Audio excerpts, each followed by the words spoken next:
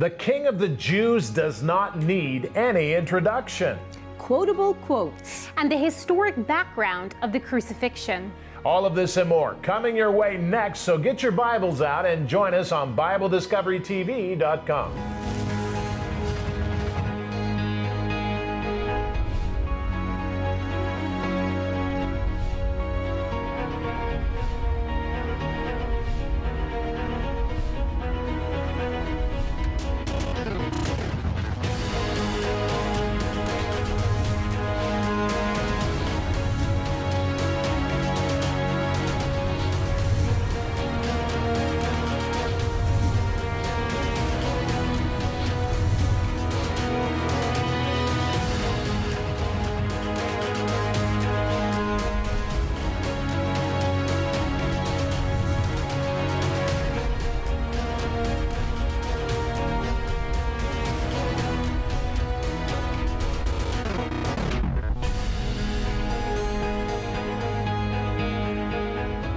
Good morning, good afternoon, good evening, wherever you are. My name is Rod Hembree. I'm Janice. This is Quick Study Television, a program designed to take you through the Bible in one year, and we do that chronologically this year. And we come upon something interesting today. As we focus on our yearly reading schedule, we learn that in Matthew 27 and Mark 15, we find a similar passage. The King of the Jews does not need to be announced. What in the world is that about? You have to stay here for, for that to make sense of it coming up in just a minute. But also, we have Corey here. Corey, what are you doing today? Well, today and also for the rest of the week, I'm conducting a series of studies based around the crucifixion of Jesus Christ. We're going to be exploring it not only historically, but also critically and even skeptically. All right, historically and the, the study of the crucifixion of Jesus Christ, very interesting. What are you doing today? Well, our focus today is Matthew 27 and Mark 15. I have decided to focus in on Matthew 27. Do you know who said this? Have nothing to do with that just man, for I have suffered many things today in a dream because of him.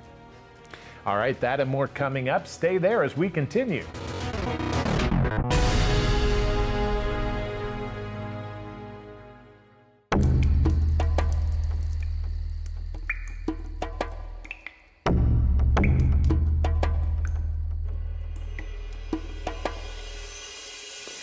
Right now, I would like to explore with you the wider history of crucifixion. I mean, definitely the most famous crucifixion in all of history thus far is of Jesus Christ. But crucifixion at the time when Christ was crucified already had a very long past.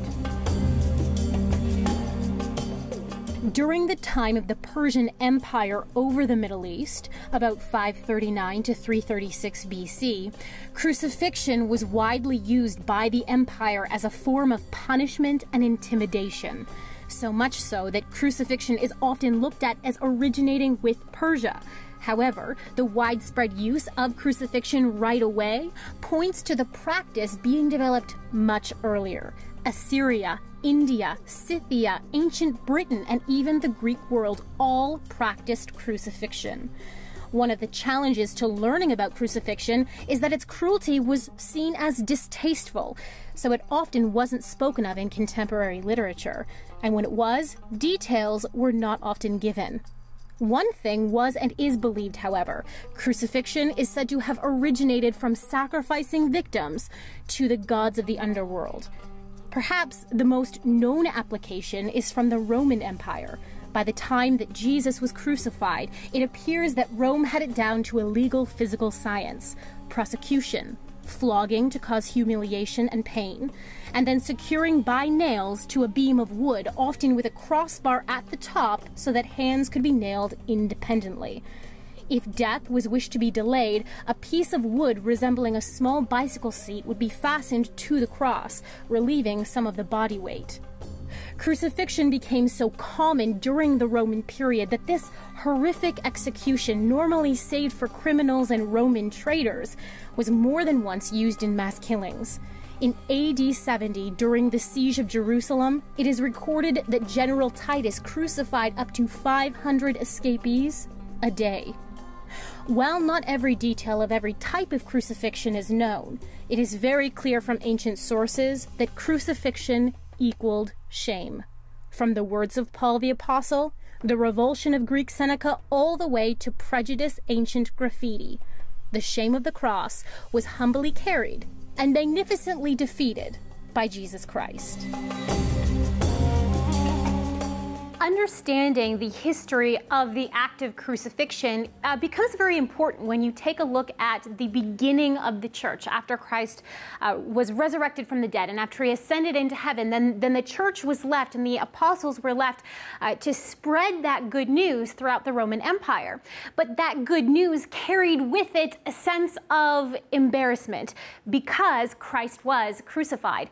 Crucifixion was one of the most, it was the most unhonorable ways or dishonorable ways to be killed. So uh, that was the absurdity or the foolishness of the cross, uh, according to the outside world looking in. Well, what do you mean your God was crucified? That's rather embarrassing, isn't it? So then the church would have to reinterpret that. And, and even when you take a look at some of the third and fourth and fifth century Roman soldier graffitis, you see soldiers mimicking Christians uh, using derogatory symbols, for example, of a, a donkey being crucified on a cross representing Jesus. So it was one of the most absurd aspects of Christianity that, that somehow a God and a leader leader would be uh, would subject himself to the ultimate human humiliation. So a leader then was the person who was the supposedly the head in terms of the Roman Empire, but really this is a different thing because mm. you get into the crucifixion and you're dealing with leadership in different ways spiritual leadership versus yeah and they really put it all together mm-hmm. you know they said well the spiritual is really the physical and the physical is really the spiritual mm-hmm. but jesus christ here was is still uh, saying that the, the spiritual leadership is the head leadership. Mm-hmm. And that's going to be very important as we continue to study on this particular journey. So stay there as we continue.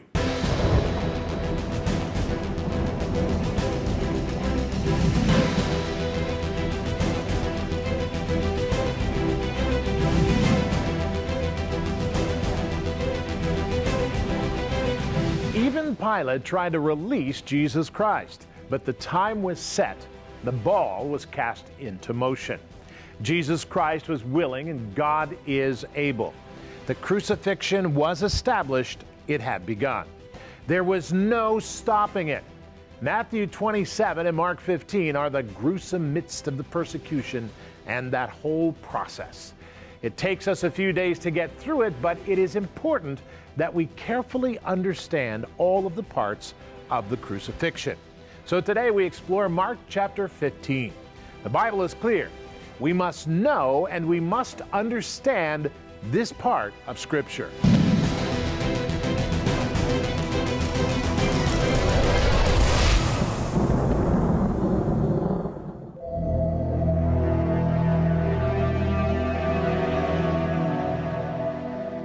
Mark chapter 15, verses 1 through 15. Immediately in the morning, the chief priests held a consultation with the elders and scribes and the whole council. And they bound Jesus, led him away, and delivered him to Pilate. Then Pilate asked him, Are you the king of the Jews? He answered and said to him, It is as you say and the chief priests accused him of many things, but he answered nothing. Then Pilate asked him again, saying, Do you answer nothing? See how many things they testify against you. But Jesus still answered nothing, so that Pilate marveled. Now at the feast he was accustomed to releasing one prisoner to them, whomever they requested. And there was one named Barabbas who was chained with his fellow rebels. They had committed murder in the rebellion. Then the multitude, crying aloud, began to ask him to do just as he had always done for them. But Pilate answered them, saying, Do you want me to release to you the king of the Jews? For he knew that the chief priests had handed him over because of envy. But the chief priests stirred up the crowd so that he should rather release Barabbas to them. Pilate answered and said to them again, What then do you want me to do with him whom you call the King of the Jews? So they cried out again, Crucify him. Then Pilate said to them, Why? What evil has he done? But they cried out all the more, Crucify him. So Pilate, wanting to gratify the crowd, released Barabbas to them, and he delivered Jesus after he had scourged him to be crucified. Mark chapter 15, verses 1 through 15.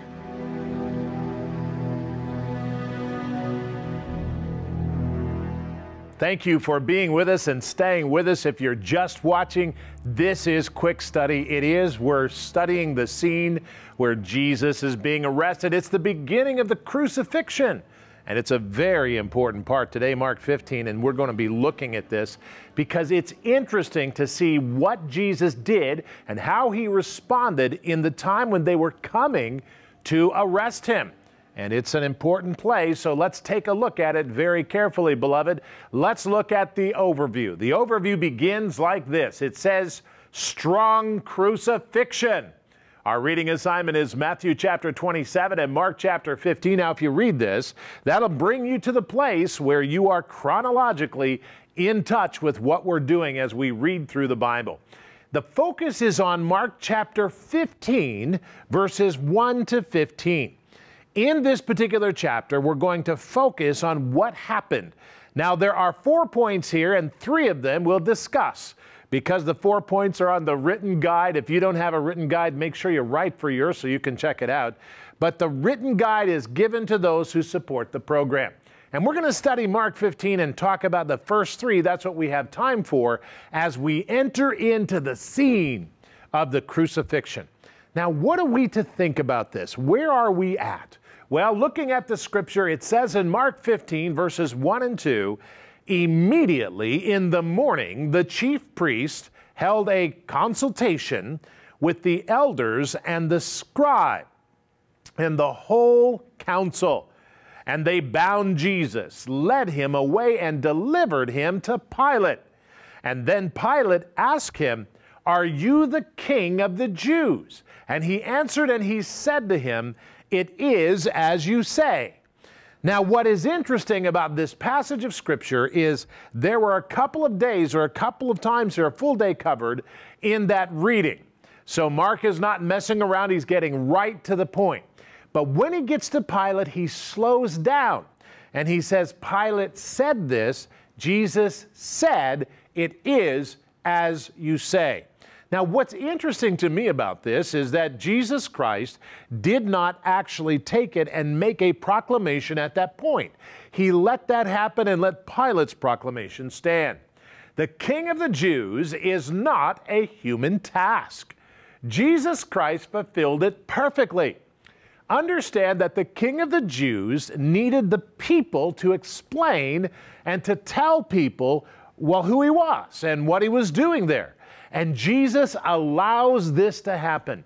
He permits this to take place and he allows it to happen, beloved, as you should pay attention because Jesus Christ is trying to communicate something to everybody who's listening. And that would be you and me as we read this as well. Now, let's go on to the next body of Scripture. This is 3 to 5.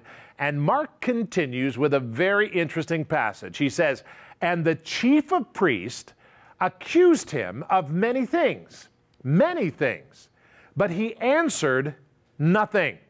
And then Pilate asked him again, saying, Do you answer nothing? See how many things that they testify against you. But Jesus Christ still answered nothing, so that Pilate marveled. So here's Pilate, he has Jesus up there, and the chief of priests and all the people are accusing Jesus of all these different things. He says, Are you going to just let them accuse you? Are you not going to defend yourself? But he didn't understand. Pilate didn't realize why Jesus was allowing this to happen. Jesus was taking the sin of the world upon him. And the chief of priests and all those people accusing him of these wrong things were applying that to him. And he was taking the wound of the world's sin to the cross. Very interesting. And so we come to this point. The King of the Jews needs no announcement. Jesus Christ announced himself in silence because the people were accusing Jesus of these things, casting these things on him. he would be punished because of them, even though he did not do them. Now, that's the explanation here that Mark gives us, and it's a very good one. And so remember, beloved, that Jesus Christ is doing this deed. He's doing this thing for both you and me, Jew and Gentile, all the world indeed combined. Now let's go to the next scripture. In Mark chapter 6 through 10, it says, Now at the feast, he accustomed to releasing one prisoner to them, whoever they requested. And there was one named Barabbas, who was chained with his fellow rebels and they had committed murder in the rebellion. He actually murdered people uh, in the rebellion. Then they, the multitude, crying aloud, they began to ask him to do just as he had always done before them. But Pilate answered them and he said, Do you want me to release to you the king of the Jews?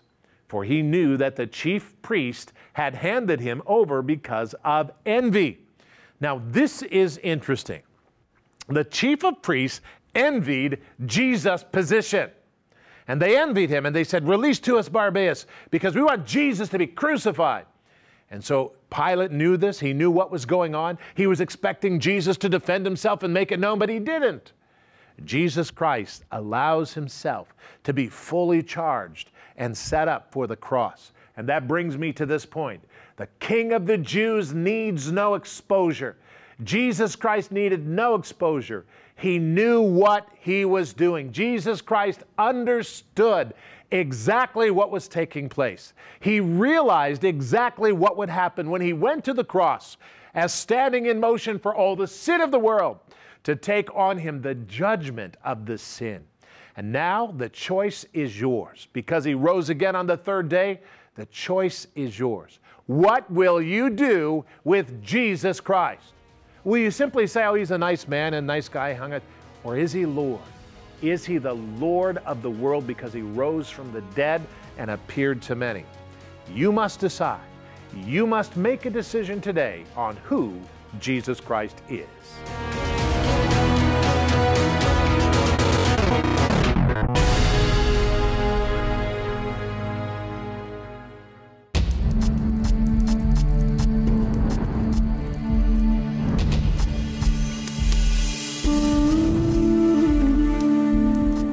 Within history, Pontius Pilate is most famous for his appearance in the gospel narratives of the New Testament.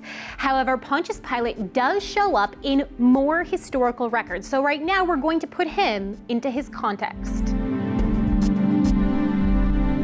Remembered well for his sentencing of Jesus to death by crucifixion, Pontius Pilate has traveled through history by several contemporary sources. We have historians Philo and Josephus, an inscription bearing his name in Caesarea, and the gospel records of the Bible. Pontius Pilate was the prefect or governor of the new province of Judea. In 4 BC, when Herod the Great died, his kingdom was split and given to his three sons, subservient to Rome. But the son ruling Judea was dethroned in AD 6. Judea named a province, and a governor installed to keep peace. To be appointed governor, Pontius Pilate would have been of the equestrian order, a privileged class, and he would have had charge of auxiliary troops, which were a specialized non citizen army equally deadly and numerous as the Roman legions. During his rule in Judea, Pilate got himself into one too many scrapes. Josephus records that one night he quietly brought Roman standards bearing images of the Roman gods into Jerusalem. This offensive act caused a confrontation with the Jews. Pilate threatened to execute them, but when they willingly exposed their necks to give the guards better aim, Pilate acquiesced and removed the standards. More controversy came when Pilate took money from the temple's treasury for an aqueduct and again when he made expensive shields, naming the emperor as God, and sent them to Herod's palace in Jerusalem. Pilate's interaction with Jesus came during the unstable time of Emperor Tiberius's Great Purge. Likely, Pilate's main goal was to keep everyone quiet so he could escape any notice at all. And yet, his one too many offense came soon after Christ's execution. Pilate put down a potential Samaritan rebellion by simply killing all the assembled men. To keep peace more peacefully, Pilate was pulled from office and sent back to Rome.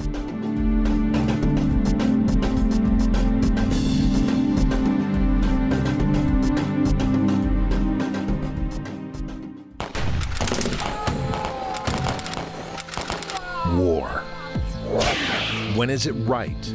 When is it wrong? There are principles guiding us in this fallen world to make good decisions about when to fight and how to fight. Join Corey, Janice, and Rod Hembree as they uncover the facts of war and learn what the Bible says about holy war. This video is critical for every believer to know now. When is it right to go to war? Your copy, write to us and send $25 as an offering or more to P.O. Box 150, Murrysville, Pennsylvania 15668 0150. In Canada and the rest of the world, write to P.O. Box 456, Orangeville, Ontario L9W5G2. You can also get this particular video at www.biblediscoverytv.com. For safe giving, give there.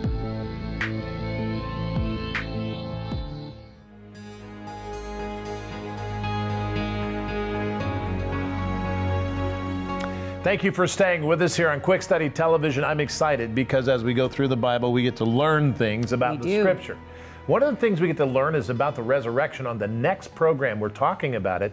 Luke 23 and John 18 to 19. Jesus Christ protected the integrity of his people. He dis, his disciples rather carry on his vision. Now we'll talk about that and more coming up on the next quick study program. Uh, hope that you decide to uh, stay with us. Right now we have the do you know question. Yes, we do. I focus today on Matthew chapter 27. Do you know who said this? Have nothing to do with that just man, for I have suffered many things today in a dream because of him. Corey, do you know who said that? I do. I know this one. That would be the wife of Pontius Pilate.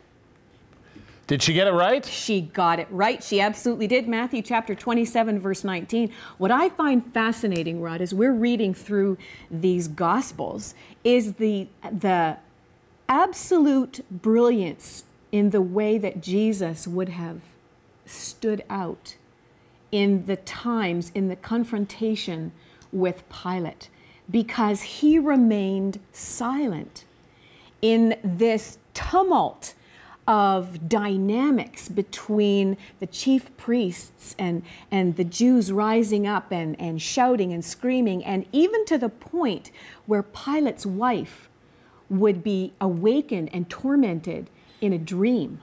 I just, I just find it fascinating And- that, that the spiritual atmosphere at that time was just full of tumult and And she was actually involved in the spiritual cultism, if you would, and uh, it's very interesting. But for her in that position to run to her Yes. husband and say, "Look, don't have anything to do with him.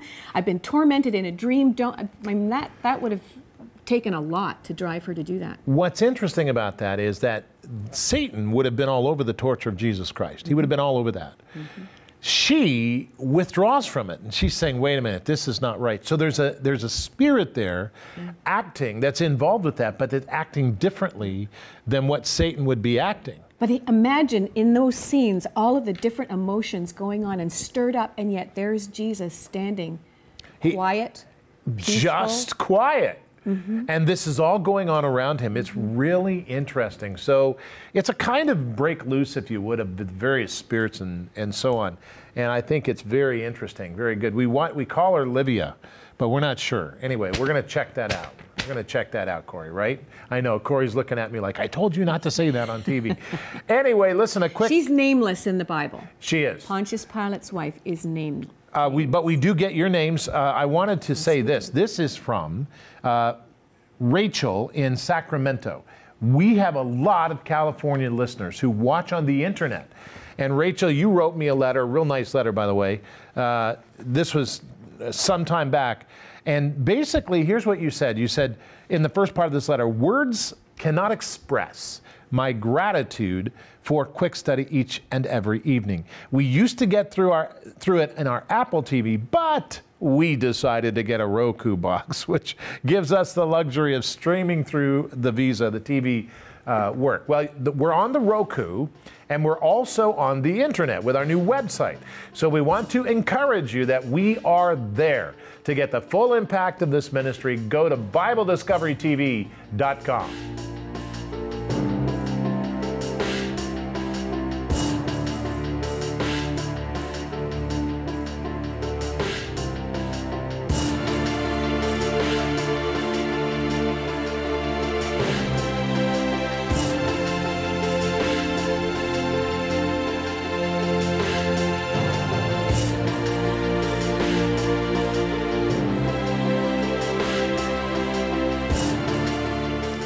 Jesus Christ, King of the Jews, did the work needed to defeat the power of sin over us. He did it alone. No one was with him and no one helped him. He is the one who took the cost of sin upon his shoulders for us. We can be forgiven and have the power of freedom from sin if we choose to make Jesus Christ our King. The way of salvation is clear and it is strong. It demands that we make a choice. There is great strength for living when we decide to make Christ Jesus our Lord by following His Word and His way. We pray and say, Lord, forgive me for my sin. I come to you and recognize that you paid the price, and I choose your gift of salvation and see you as Lord of my life.